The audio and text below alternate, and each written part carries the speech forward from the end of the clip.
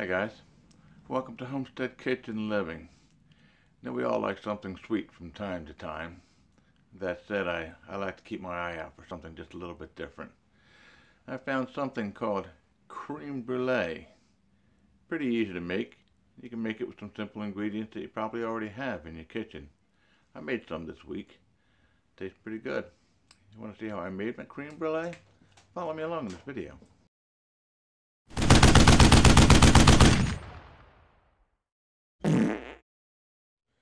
My God, what did you eat?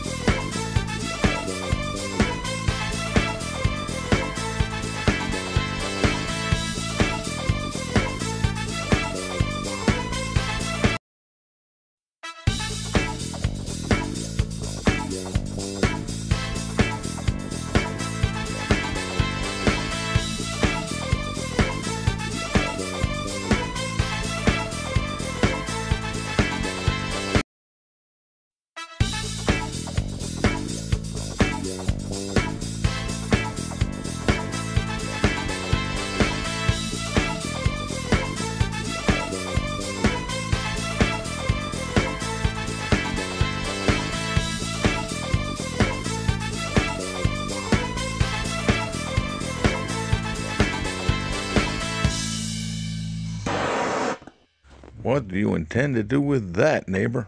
Ah, every kitchen needs one of these, Wilson. This is for the final phase of the creme brulee. Watch and observe.